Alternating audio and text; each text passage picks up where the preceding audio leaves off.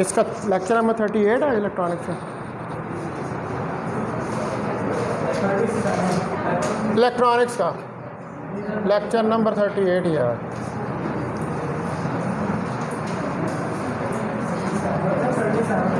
thirty seven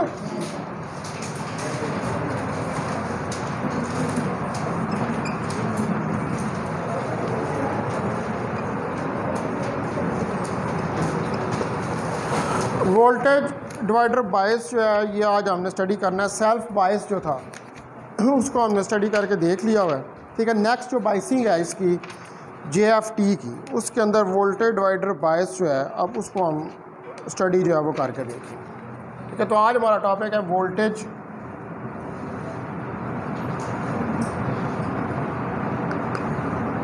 divider bias ये voltage divider बायस है, इसको आपने in the case of BJT यानी कि बाईपोलर जंक्शन ट्रांजिस्टर जो है, उसके केस में भी इसको हमने स्टडी किया था। लेकिन यहाँ पर अभी जो हम स्टडी करने के लिए, करने लगे हैं, ये N channel J F T जो है, उसके लिए वोल्टेज डिवाइडर बायस कन्फिग्रेशन जो है, उसको स्टडी करेंगे। तो N N channel J F E T with voltage divider bias is shown in figure 1a तो पहले मैं फिगर बनाता हूँ इसकी वोल्टेज डिवाइडर बाईस की, फिर उसके बाद मैं इसको डिस्कस करूँगा। तो ये आपके पास एक जे एफ़ टी है।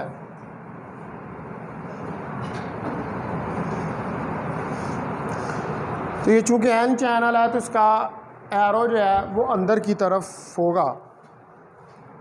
ठीक है, यहाँ पर इस पॉइंट पर गेट के साथ एक रेजिस्टेंस ये लगी हुई है। और एक रजिस्टेंस ये लगी है, इसको आप ग्राउंड कर दें। इसे आर वन का नाम दें, इसे आर टू का नाम दें।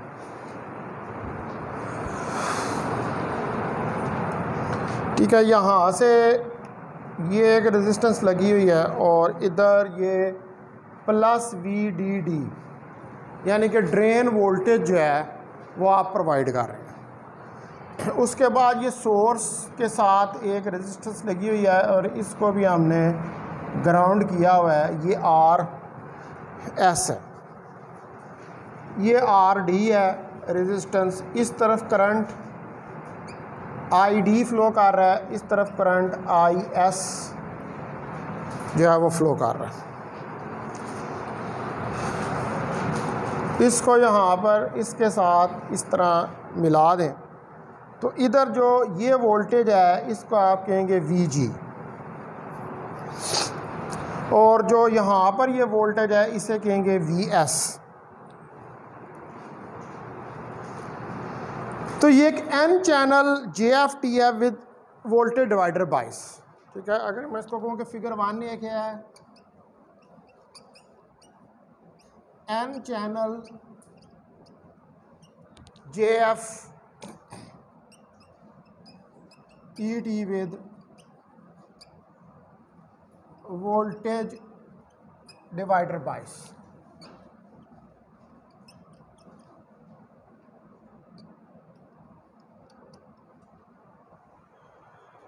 ठीक है, ये सर्किट हमारे पास वोल्टेज डिवाइडर बायस का किसके लिए? एन चैनल के लिए। अब आप इस सर्किट को देख सकते हैं कि ये दो रेजिस्टेंसेस लगी हुई हैं आर वन और आर टू वोल्टेज को डिवाइड करने के लिए। ठीक है, उसके बाद एक रेजिस्टेंस आर डी लगी हुई है, एक रेजिस्टेंस आर एस लगी हुई है तो टोटल पूरा सर्किट देखें तो उसके अंदर चार रेजिस्टेंसेज हमें नज़र आ रही हैं। ठीक है R one R two R D और आर एस तो ये सारी रेजिस्टेंसेज जो हैं, ये क्या करेंगे? They will divide the voltage ठीक है, ये इस पूरे सर्किट के अंदर वोल्टेज को डिवाइड कर देंगे। यहाँ पर आपने ड्रेन के साथ जो है, वो बैटरी लगाई हुई है प्लस वी डी डी आप जो है, वो वोल्टेज ड्रेन वोल्टेज जो है, उसको प्रोवाइड कर रहे हैं। ठीक है जी तो जो वोल्टेजेस हैं द वोल्टेजेस एट सोर्स जो सोर्स के ऊपर हमारे पास वोल्टेजेस हैं of the J F T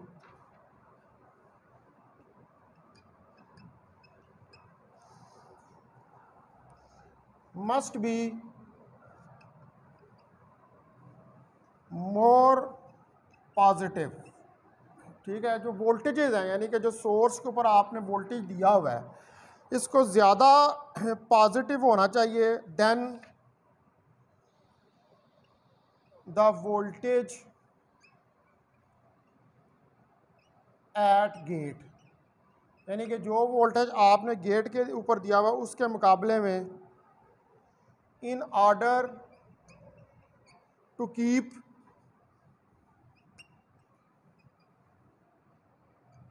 gate source junction reverse biased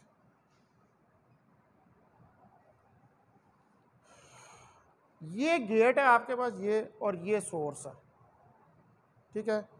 तो गेट और सोर्स जो है, इस पे जो वोल्टेजेस दिए हुए हैं इन वोल्टेजेस यानी कि जो इसको ज़्यादा पॉजिटिव होना चाहिए।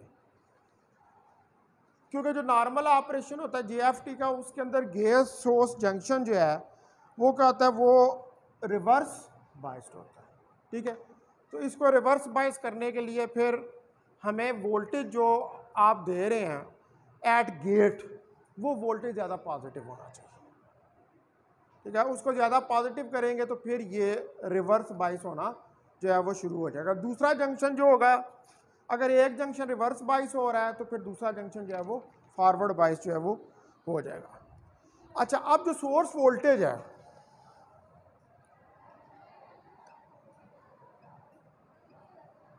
the source voltage is V S is equal to I D R S. अब यहाँ पर आपको पता है कि आई एस जो है, वो आई डी के बराबर होती है।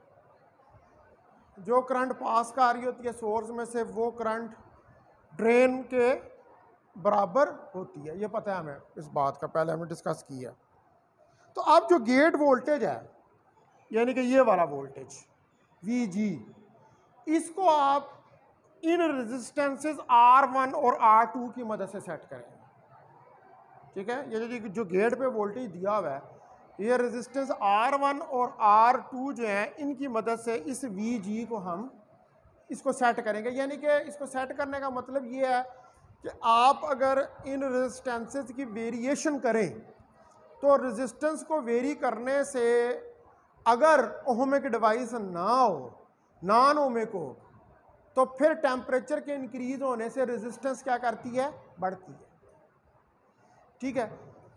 तो इसका मतलब है कि अगर ये रेजिस्टेंस ज़्यादा कर दें तो फिर करंट के फ्लो में रुकावट ज़्यादा आएगी।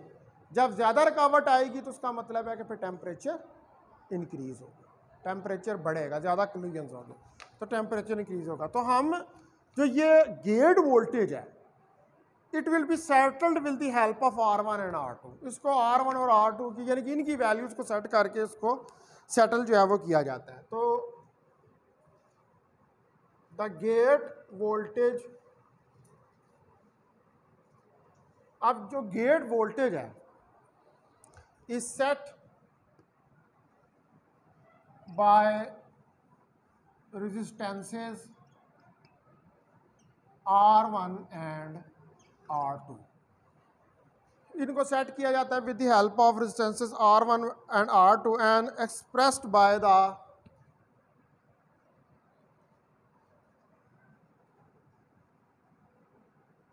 by the voltage divider formula. और इसको हम एक्सप्रेस एक्सप्रेस कर सकते हैं with the help of voltage divider formula, वो वोल्टेज डिवाइडर फार्मूला जो है, वो आपने लिखा हुआ है पहले कि V G is equal to R two R one plus R two V D D ये कोई इक्वेशन नंबर वन जो है, वो हमारे पास आ गई ठीक है? Now the gate to source voltage is अब जो गेट से सोर्स वोल्टेज है, वो है वी जी एस यानी कि V G minus V S इसको कह दें इक्वेशन टू और सोर्स वोल्टेज जो है इसके अंदर and source voltage is V S V S जो है इसके अंदर सोर्स वोल्टेज है that is equal to V G minus V G S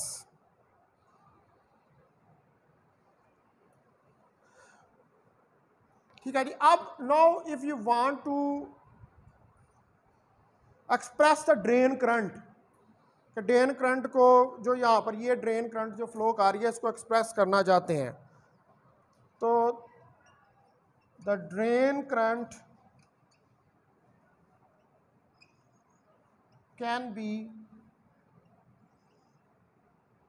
expressed as ID VD over RD इसको इक्वेशन नंबर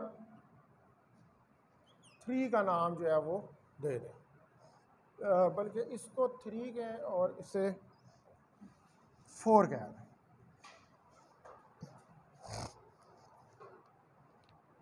ठीक है?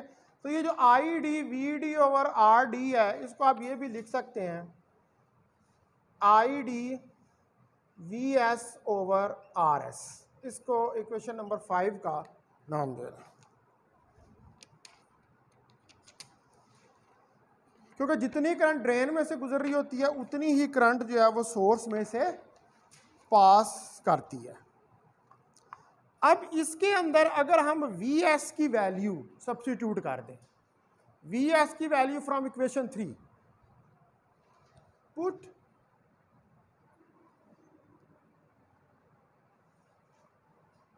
value of V S from three into five तीन से पाँच के अंदर जो है, इसको सब्सिट्यूट कर दें तो आई डी जो है that will be equal to V S की value V G minus V G S divided by R S तो ये हमारे पास सिक्स इक्वेशन जो है वो आ जाएगी। ठीक है, अब आप ये देख सकते हैं कि इस वोल्टेज डिवाइडर बायस के अंदर सारी वैल्यूज़ आपने कैलकुलेट कर ली ठीक है, उन सारी वैल्यूज़ के अंदर जो है वो V G S V G V S I D ये सारी वैल्यूज़ हमने सर्किट की फार्मूलों से कैलकुलेट करके देख ली। नो ये तो अगर सर्किट के सर्किट से आप किस तरह वैल्यूज़ जो है उनको कैलकुलेट कर सकते हैं। ये वोल्टेज डिवाइडर बायस का सिंपल सर्किट जो है वो बना हुआ है। क्या है simply? R one R two से सिर्फ़ लगाई हुई है। और किसके साथ लगाई हुई है? गेट के साथ। बाकी तो सर्किट वही है। ठीक है, बाकी सर्किट में तो जितने भी आपने जे एफ़ टी के सर्किट बनाए हैं, उनमें यही होता है कि ड्रेन होती है। ड्रेन के साथ आर डी लगी होती है सोर्स होती है सोर्स के साथ आर एस लगा होता है। ठीक है, सिर्फ़ फ़र्क इतना किया है कि यहाँ पर ये दो रेजिस्टेंसेस लगा दी हैं वोल्टेज को डिवाइड कर अब जब आप सर्किट को समझ लेते हैं तो फिर अगला स्टेप क्या होता है कि ऑब्वियसली हमने उसके करैक्टरिस्टिक देखने होते हैं।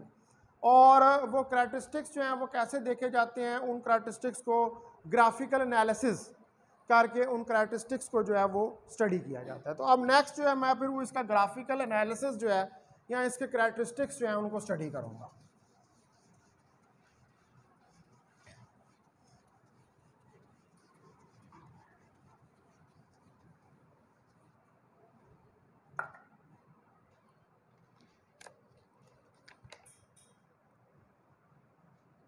Graphical analysis of a JFET with voltage divider bias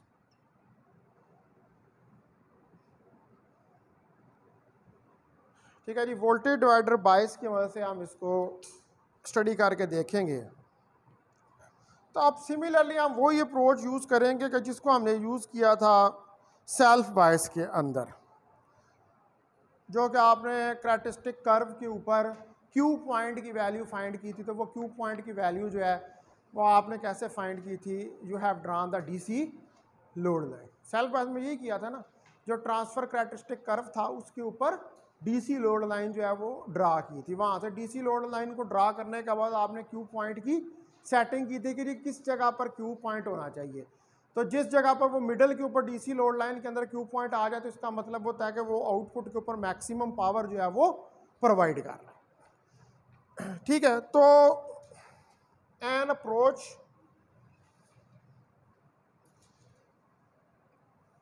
similar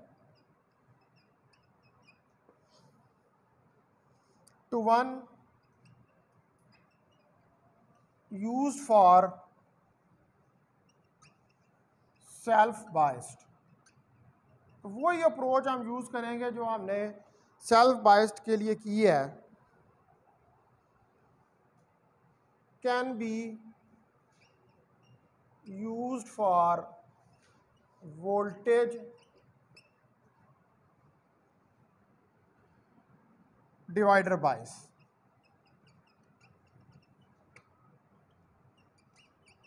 वो सिमिलर जो है, उसको आप वोल्टेज डिवाइडर बाइस के लिए यूज़ कर सकते हैं। To graphically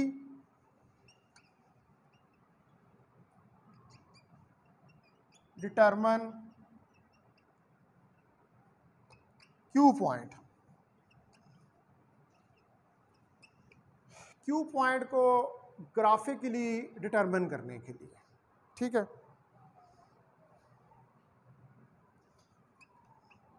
Of a circuit and transfer on the transfer characteristic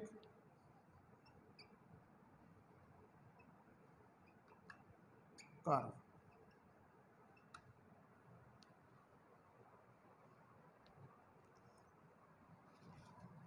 वहाँ पर भी आपने क्या किया था? ट्रांसफ़र करेक्टरिस्टिक कर्व के ऊपर ही लोड लाइन जो है वो ड्रा की थी। तो करेक्टरिस्टिक, ट्रांसफ़र करेक्टरिस्टिक कर्व किसके दरमियान बनता है? वी और आईडी के दरमियान में बनता है।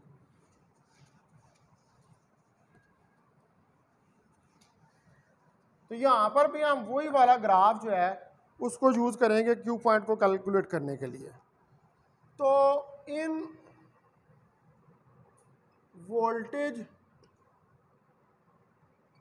डिवाइडर बाइस अब जो आपके पास वोल्टेज डिवाइडर बाइस है of J F E T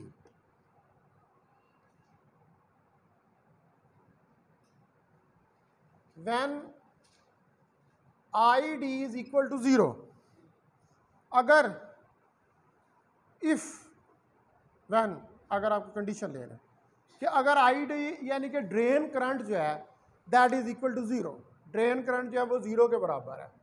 तो फिर जो वी जी एस है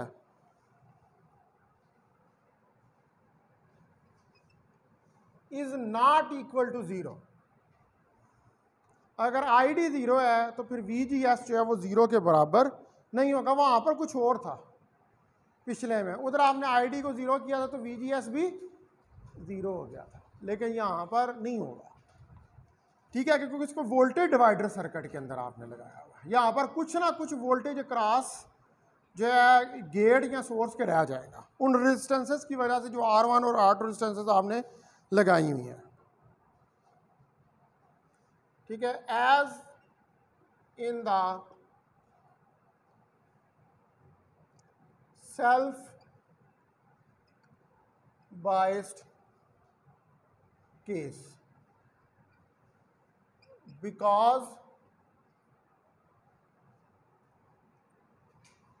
because the voltage divider, क्योंकि जो वोल्टेज डिवाइडर बायस है प्रोड्यूसेस वोल्टेज ये प्रोड्यूस करता है वोल्टेज को at the gate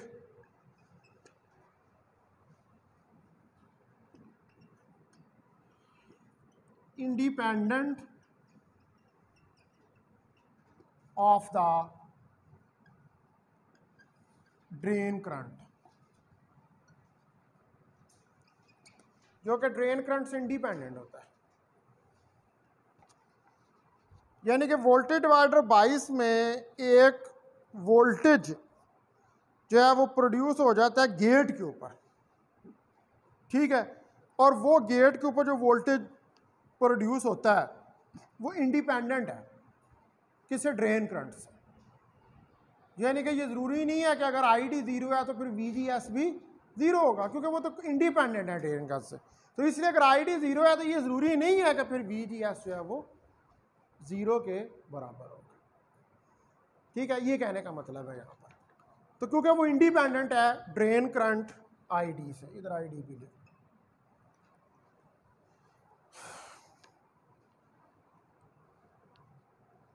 तो जो voltage divider DC load line है,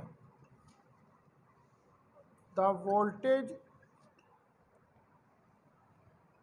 divider DC load line. तो जो वोल्टेज डिवाइडर आपके पास डीसी लोड लाइन है इज़ डिटरमेंट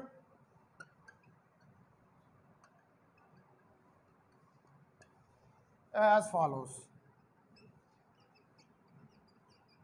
तो अब हम इसको डिटर्मन करने का तरीका, यानी कि कौन कौन सी वैल्यूज़ हैं वो आप पुट करेंगे।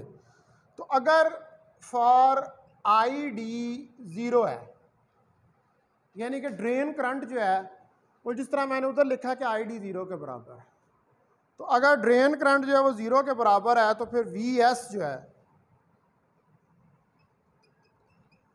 वो आई एस आर एस के बराबर है, और इसको लिख सकते हैं आई डी आर एस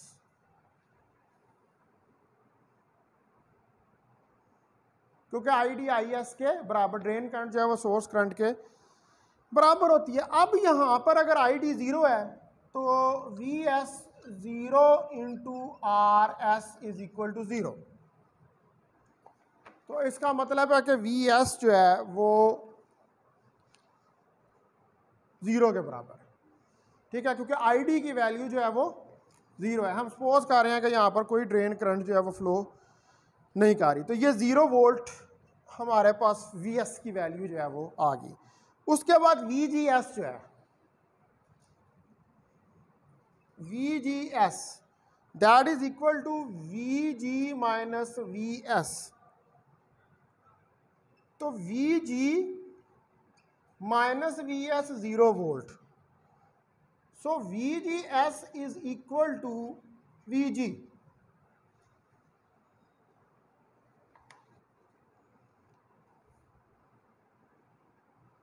तो इसका मतलब है कि एक पॉइंट जो है लोड लाइन पर, वो उस वक्त होगा जब आई डी ज़ीरो के बराबर है और दूसरा पॉइंट तब होगा जब V G S V G के बराबर है। ये दो पॉइंट्स हो जाए तो इन दो पॉइंट्स के दरमियान आप क्या करेंगे? लोड लाइन को ड्रा कर देंगे। ठीक है? Therefore one point on load line is at I D is equal to zero and equal to V G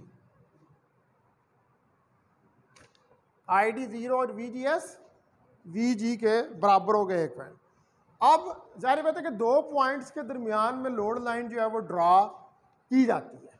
तो एक पॉइंट के लिए तो ये वैल्यूज़ निकल आई. अब अगर आप दूसरा पॉइंट जो है उसको कैलकुलेट करना चाहते हैं तो सेकंड पॉइंट जो है for V G S is equal to zero अभी सेकंड पॉइंट के लिए हम आ रहे हैं। अगर वी जी एस ज़ीरो के बराबर है तो ये इक्वेशन थी I D V G minus V G S divided by R S is equal to इसके अंदर अगर वी जी एस ज़ीरो है तो ये V G over R S के बराबर आ जाएगा।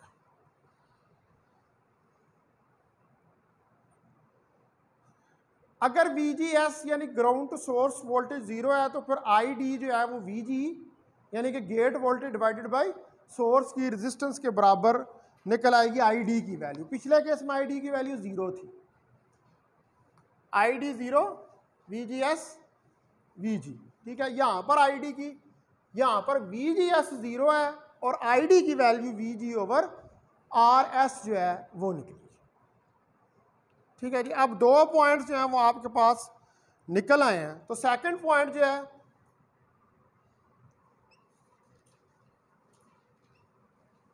second point on the load line is at I D V G over R S and VGS is equal to 0. तो अब ये पॉइंट्स तो आपने निकाले no next task is to plot the curve अब अगला काम जो है वो क्या है कि वो हमने कर्व जो है उसको प्लाट करना है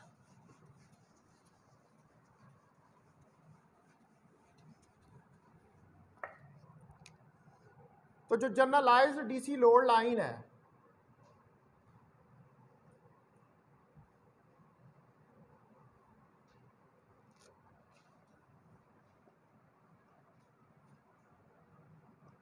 is shown in figure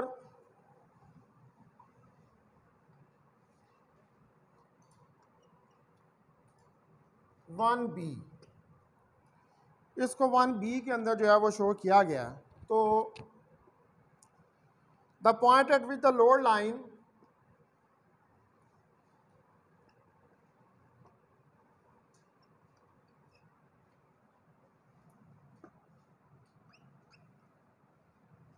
तो वो पॉइंट जिसके ऊपर लोड लाइन जो है, वो इंटरसेक्ट करती है।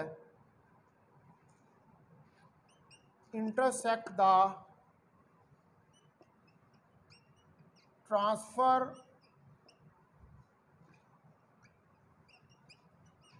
characteristic curve transfer characteristic curve को। वो point at with the load line intersect यानी कि जो ट्रांसफ़र कैरेक्टरिस्टिक कर्व है, उसी के ऊपर लोड लाइन ड्रा कर रहे हैं। तो जिसके ऊपर वो उसके साथ इंटरसेक्ट करती है इज़ दी क्यू पॉइंट वो कौन सा पॉइंट है, उसको आप क्यू पॉइंट का नाम देते ठीक है जी तो अब ग्राफ जो है उसको प्लाट करते हैं।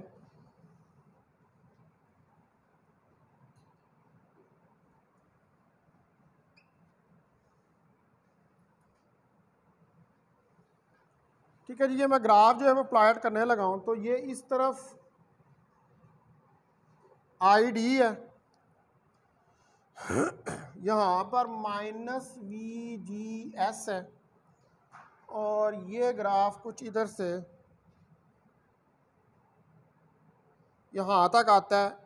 ये जो रीजन है, ये वी जी एस ऑफ़ का रीजन है।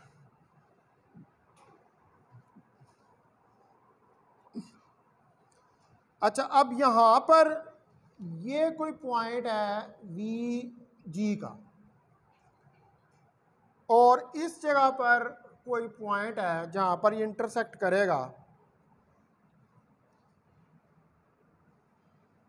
इसके साथ। ठीक है, अब ये जो पॉइंट है इधर, ये वाला, ये है V G over R S और ये जो पॉइंट है इस ट्रांसफ़र कर्व के ऊपर, ये क्यू पॉइंट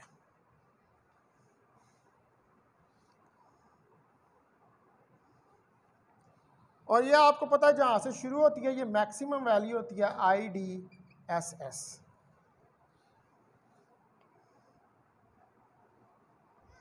अब ये हमारे पास है फिगर वन बी ठीक है, ये जर्नलाइज डीसी डो लाइन है।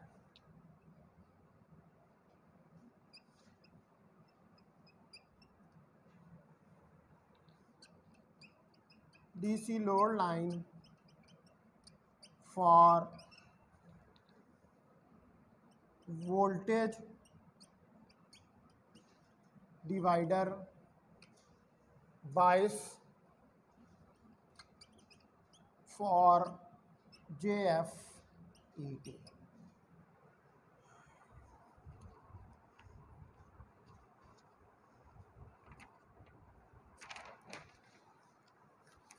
ठीक है जी तो ये अब आपने जो है डीसी लोड लाइन जो है इसको ड्रा ये ग्राफ हमारे पास आ गया। आप देख सकते हैं कि वो जो दो पॉइंट्स थे, उनके दरमियान में हमने डीसी लोड लाइन जो है उसको ड्रा कर दी और ये कौन से हैं? ये तो आप क्रैटिस्टिक कर्व हैं, उसके ट्रांसफ़र क्रैटिस्टिक कर्व जो काफ़ी पीछे से हम इनको पढ़ते चले आ रहे हैं जेएफटी के लिए। ठीक है? अच्छा जी, उसके बाद अब हमने नेक्स्ट जो चीज़ स्टडी करनी है, वो हमने देखना है क्यू पॉइंट स्टेबिलिटी यानी कि ये जो इस ग्राफ के ऊपर क्यू पॉइंट आया है, इसको हम किस तरह स्टेबल जो है, वो रख सकते हैं।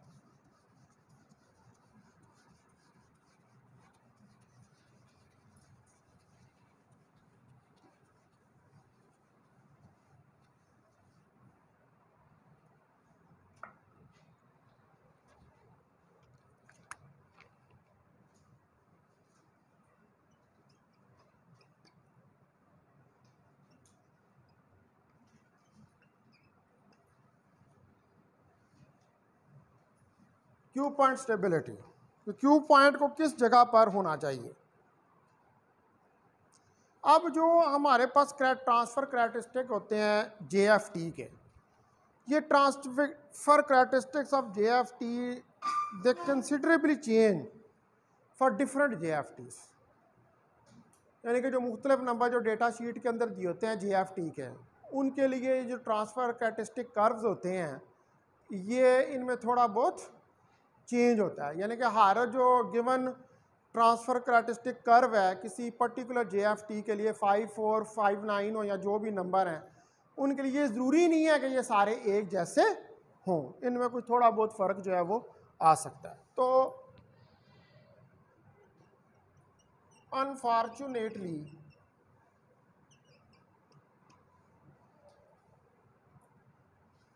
the transfer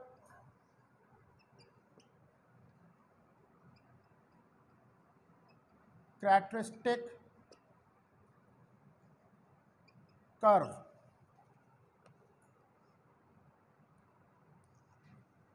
of J F E T can differ इनमें डिफरेंस आ सकता है considerably from one device to another of same type यानी कि होगा जे एफ़ ई टी, लेकिन वो सेम टाइप की कोई दूसरी डिवाइस होगी। तो उसके लिए जो इसका ट्रांसफ़र करेक्टर है, उसमें फ़र्क आ सकता है। यानी कि उसके वो जब ट्रांसफ़र करेक्टर, अब ट्रांसफ़र करेक्टर किसके दरमियान? वी और आई के दरमियान देखते हैं तो हो सकता है कि वो कर्व जब आप उसके लिए प्लाट करें तो वो उसके अंदर कोई चेंजेस जो हैं वो अकर कर रही हों। तो इसके लिए आप देखें कि for example if for example मिसाल के तौर पर डेटा शीट के अंदर से हम कहते हैं कि A N two N five four five nine ठीक है, ये जे एफ़ टी का नंबर है। इज़ रिप्लेस्ड इसको आप रिप्लेस कर देते चेंज कर देते ये पहले भी हमने यहाँ यूज़ किया ये वाला। ठीक है फाइव फोर फाइव नाइन वाला। तो अगर आप इसको रिप्लेस कर दें in given by circuit with जो मतलब जिस सर्किट में आपने इसको लगाया हुआ बाइसिंग सर्किट के अंदर, चाहे वो सेल्फ बाइस का, चाहे वो वोल्टेज डिवाइडर बाइस का, उसके अंदर आप इसको चेंज कर दें। विद एन अदर किसी दूसरे जे से, जिसका नंबर हो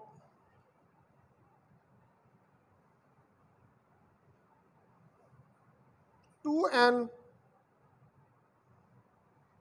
five four five nine. ठीक है? वो भी वही वाला ही है। टेन फोर फाइव, लेकिन और है कोई। नंबर एक ही है, लेकिन डिवाइस जो है वो वो कोई और है। मिसाल इसका मतलब कहने का यह है कि अब इसी नंबर के बहुत सारे जेएफटी जो हैं, वो कंस्ट्रक्ट होंगे मैन्युफैक्चर होंगे। लेकिन जब आप उनको सर्किट के अंदर लगाएँगे, चाहे वो सेल्फ बाय सर्किट हो, चाहे वो वोल्टेज डिवाइडर सर्किट हो तो उस सर्किट के अंदर ये सेम ही नंबर के जो हैं, इनके जो करेक्टरिस्टिक्स हैं, उनके अंदर कंसिडरेबल चेंज होगी।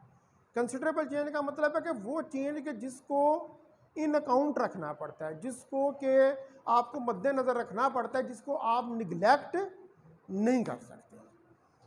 ठीक है तो इसको किसी और two and five four nine से आप रिप्लेस कर दें। तो द ट्रांसफ़र करेक्टरिस्टिक कर्व तो जो ट्रांसफ़र करेक्टरिस्टिक कर्व है कैन वेरी तो उसके अंदर वेरिएशन जो है, वो आ सकती है। Greatly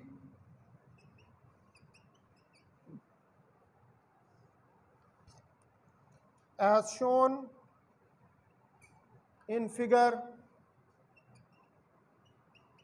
1c जैसा कि फिगर 1c के अंदर अभी हम ग्राफ जो है उसको प्लॉट करते हैं। तो फिगर जो 1c है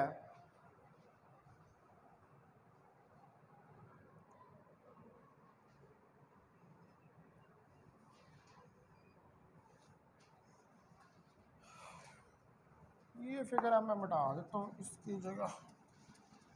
दूसरी दो फिगर जो है, बना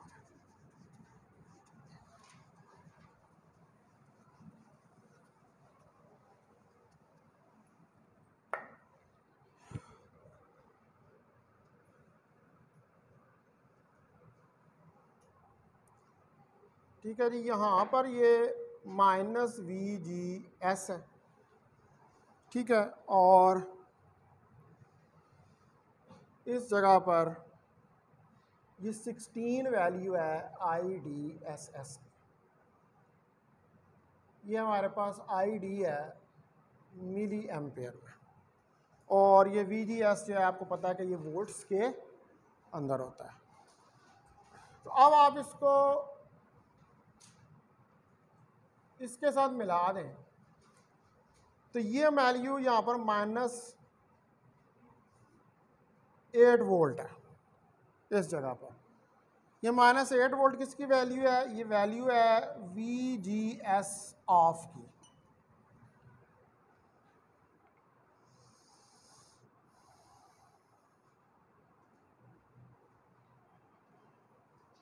ठीक है, उसके बाद मैं एक और जो है वो ग्राफ यहाँ से प्लाट करता हूँ। ये ये फोर है। आई डी एस एस और यहाँ पर माइनस टू वैल्यू है इसकी वी जी एस ऑफ़ की।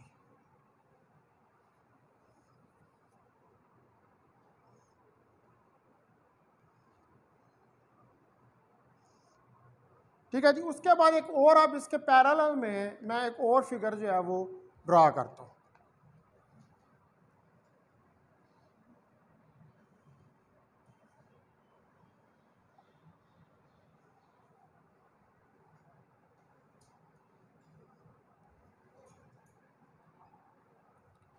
यहाँ पर ये माइनस वी जी एस उसी तरह ये आई डी एस एस यहाँ पर ये आई डी है। तो ये ग्राफ इस तरह का ठीक है?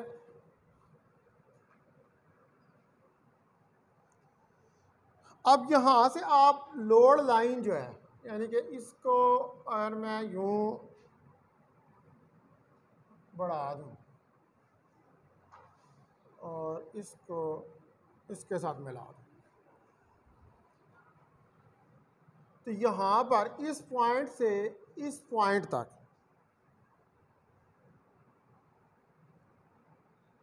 एक डीसी लोड लाइन जो है, वो हमने ड्रा कर दी ठीक है? तो ये जहाँ पर इंटरसेक्ट कर रही है, ये इसका क्यूब पॉइंट है। इधर आपके पास वैल्यू आई डी टू है। और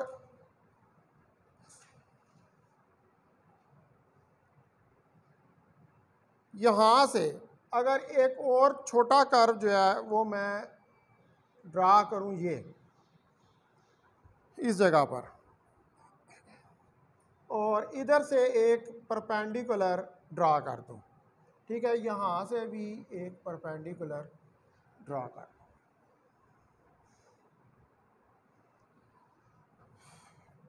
और ये परपेंडिकुलर इधर, ये आई डी वन की वैल्यू है। ठीक है आई डी टू और आई डी वन और यहाँ पर ये क्यू टू पॉइंट है और ये वाला जो है, ये ये क्यू वन पॉइंट है। ये पॉइंट वी ये वाला जो है वी जी एस टू है और ये वाला वी जी एस वन है। पॉइंट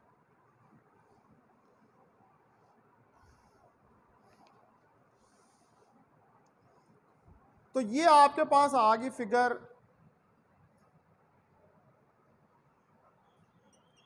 वन सी, ठीक है, ये फिगर जो है, ये क्या रिप्रेजेंट कर रही है? Variation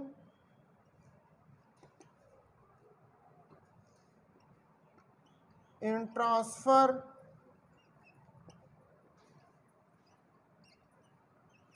characteristic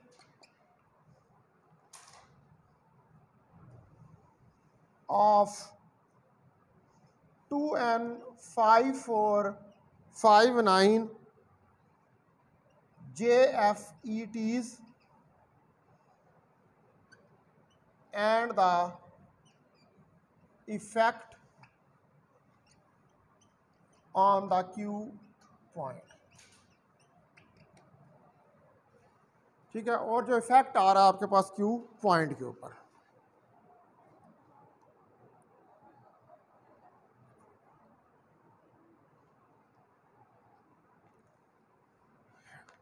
ठीक है जी, ये मैंने इस वाली, ये वाली फिगर जो है ना, फिगर ये इसका लिखा है ये, उसका नहीं लिखा।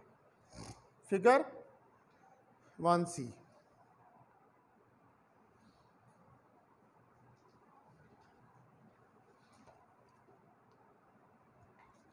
अच्छा अब जो ये वाली फिगर है, जो दूसरी है, इसको आप कह लें फिगर वन डी, ये जो दूसरी है। तो फिगर वन डी के अंदर आपने डीसी लोड लाइन ड्रा की है।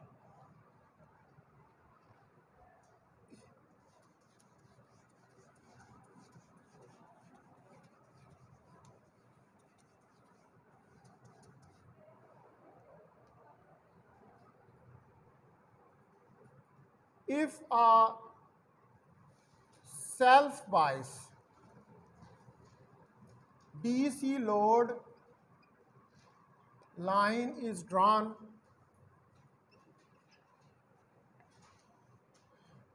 as shown figure one D जैसे कि इस फिगर वन डी के अंदर हमने DC load line self bias किया है। तो the same circuit using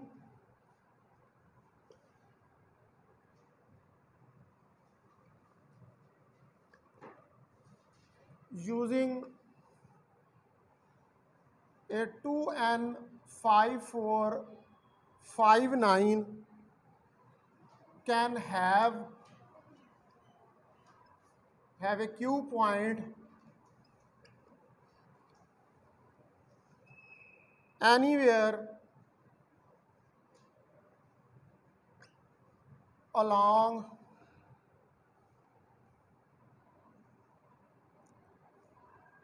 along the line from Q1.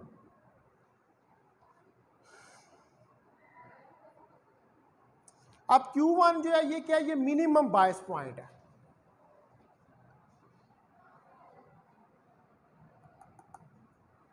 ठीक है? ये कौन सा है? ये Q1 मिनिमम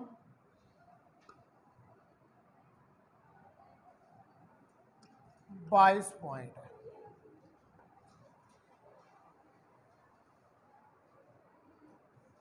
तो दूसरा क्यू टू पे क्या होगा? मैक्सिमम बाईस पॉइंट होगा।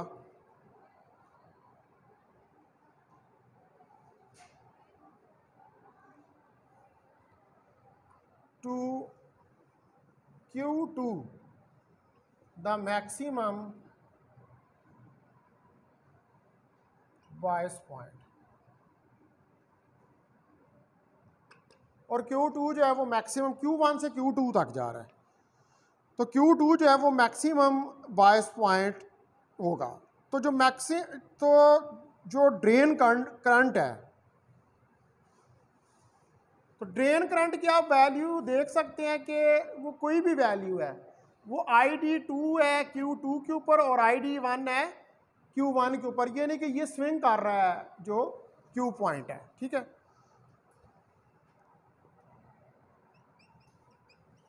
अकॉर्डिंगली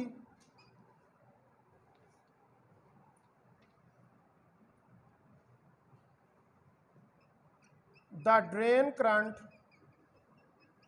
अब जो ड्रेन करंट है हमारे पास can be any value between I D one इसकी कोई भी वैल्यू हो सकती है I D one and I D two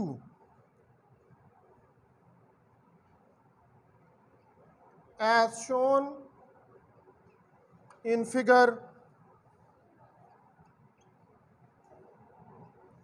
one D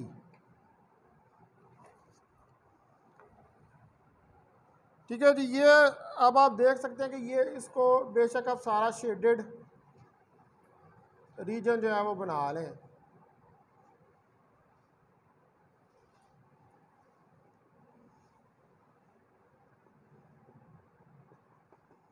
तो ये शेडेड रीजन के अंदर जो ये आई डी वन और आई डी टू की वैल्यूज़ के दरमियान में जो आईडी की वैल्यू है, वो वेरी कर रही है। तो इसका मतलब है this means that DC voltage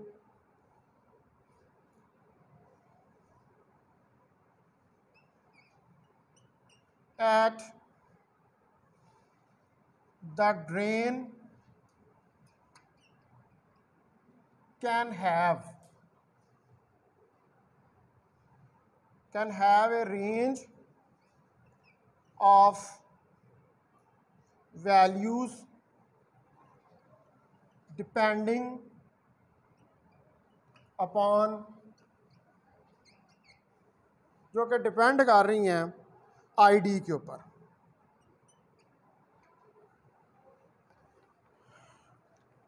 ठीक है? अब आईडी पे डिपेंड करने का मतलब है कि आप ये देख सकते हैं कि यहाँ पर वी जी एस टू के ऊपर आई डी टू है और वी जी एस वन के ऊपर आई डी वन तो ये चेंज हो रही है। डिपेंड किस पर कर रही है?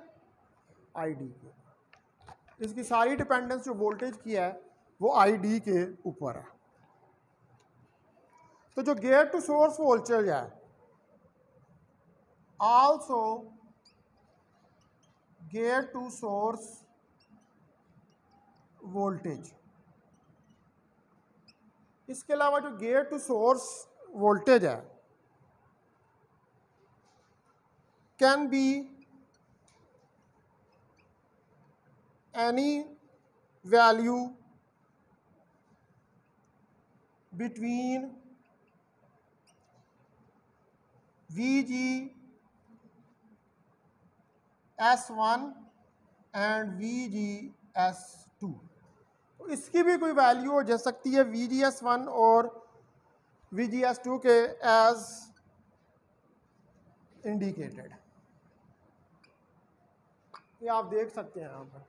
यहाँ पर वी जी एस टू है और इधर वी जी एस वन है। यानी कि क्यू वन पॉइंट के ऊपर वी जी एस वन है और Q point Q two point के ऊपर वी जी एस टू है।